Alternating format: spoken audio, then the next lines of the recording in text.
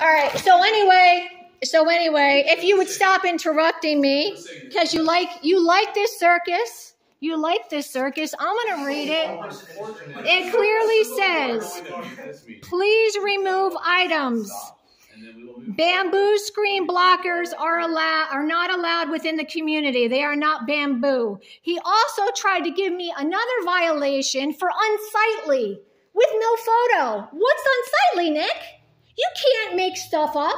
It's not in the rules, it's not in the regulations, and it's not in the governing docs. You can't just say something's unsightly.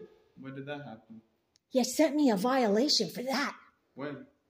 Which violation was that? That's my question. That's when? the- So you sent me something that that was bamboo. It's not. You sent me something that's a sunshade. It's not. Okay. And then you sent me something that something is unsightly. Okay. I have unsightly things on my deck. What's unsightly?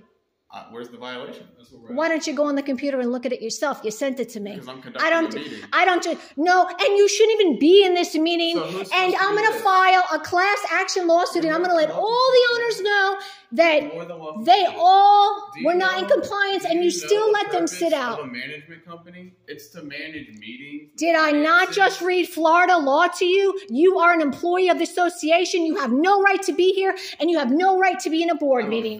for the And with association. That, I will end this conversation. I have stated my case. Goodbye.